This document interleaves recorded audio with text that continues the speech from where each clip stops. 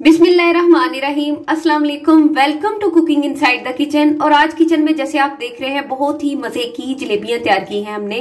तो इसके लिए ना तो आपको इनो की ज़रूरत है, ना ईस्ट लेंगे और झटपट से तैयार करेंगे घर के ही इंग्रेडिएंट्स के साथ। और बहुत ही मज़े की जलेबी है। जैसे आप देख रहे हैं, बाहर से बहुत क्रिस्पी और अंदर से वैसे ही जूसी है, जैसे हम बाज़ार से लेके खाते हैं। तो जल्दी से झटपट से तैयार करते हैं जलेबी की रेसिपी।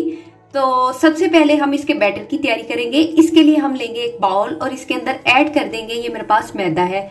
एक कप आपने मैदा ऐड करना है और इसके साथ हम इसके अंदर ऐड कर देंगे कॉर्नफ्लोर। वो जाएगा इसके अंदर टू टेबल स्पून आप मेयरमेंट का सिर्फ़ ख्याल रखिए, आपकी भी जलेबी बहुत ही मज़े की और क्रिस्पी बनेगी।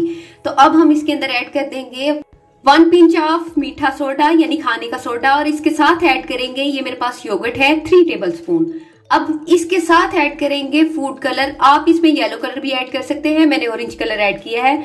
और इस बैटर को अच्छे तरीके से अब हम इसे विस्क करेंगे। और अच्छे तरीके से मिक्स करने के साथ साथ इसके अंदर थोड़ा सा पानी ऐड करेंगे। कह लें कि तीन से चार खाने के चम्मच। और अब आप देखें, इसे विस्क करने के बाद मैं इसकी कंसिस्टेंसी आपको दिखाऊँगी कि बैटर बिल्कुल कैसा होना चाहिए। ये देखें, एक धार वाला बैटर हमारे पास होना चाहिए। बिल्कुल पतला नहीं हो और ना ही बहुत गाढ़ा हो। अब शीरे की तैयारी करेंगे और एक कप चीनी लेंगे। भर के इसके अंदर हाफ़ कप पानी जाएगा। इसको थोड़ा सा कुक करेंगे।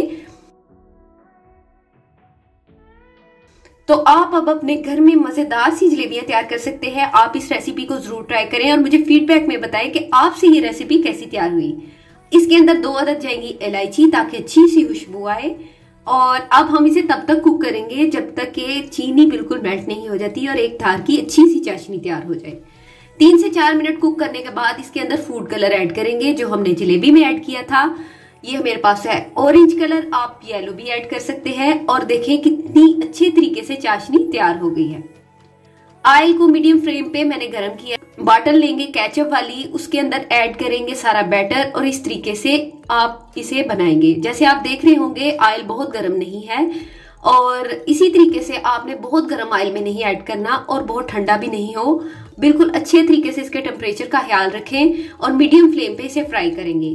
फ्राई में ये ज़्यादा टाइम नहीं लेती, तकरीबन दो से तीन मिनट में आप इसे फ्राई कर लेंगे। जब एक साइड अच्छे से क्रिस्पी हो जाएगी तो हम इसकी साइड को चेंज कर लेंगे। और क्योंकि इसमें फ़ूड कलर है तो इसका कलर चेंज नहीं होगा तो आप खुद ही देख लीजिएगा एक साइड अच्छी सी खूबसूरत सी फ्राई हो जाएगी तो साथ ही हम गरम गरम जलेबी को शीरे में ऐड कर देंगे। या तो जलेबी का गरम होना ज़रूरी है या शीरे का। शीरा पहले तैयार कर लिया था, इसलिए गरम गरम जलेबी को शीरे में ऐड कर देंगे। शीरा भी थोड़ा सा गुनगुना है। तो इसी तरीके से सारी जलेबी को हम ऐड करेंगे और तकरीबन ज़्यादा से ज़्यादा एक मिनट के लिए आपने एक साइड को इसके अंदर रखें और फिर दूसरी साइड को चेंज करें, यानी थर्टी सेकेंड का टाइम देंगे और साइड्स को चेंज करेंगे और एक मिनट के बाद हम जलेबी को डिश आउट कर लेंगे। तो हमारी गर्मा गर्म सी जलेबी तैयार है। आप इसे घर में ज़रूर ट्राई करें। कोई मुश्किल नहीं, बड़ी आसानी से बनने वाली है। अगर आप फ़र्स्ट टाइम भी इसे तैयार करेंगे तो इनशाला मुझे उम्मीद है आप यकीनन अच्छी सी रेसिपी तैयार कर लेंगे। तो क्रिस्पी सी जूसी सी जलेबी तैयार है, बिल्कुल बाज़ार सी। इसे हम गार्निश करेंगे थोड़े से पिस्ते के साथ। आप इसे इंजॉय करें और मुझे तैयार करने के बाद फीडबैक में बताएँ कि आपको ये छोटी सी रेसिपी कैसी लगी और आपने कैसी तैयार की। रेसिपी से रिलेटेड कुछ भी पूछना हो, आप मेरे लिंक पे जाके मेरे चैनल के पेज पे मुझसे पूछ सकते हैं और इसकी रेसिपी आपको डिस्क्रिप्शन बॉक्स में मिल जाएगी।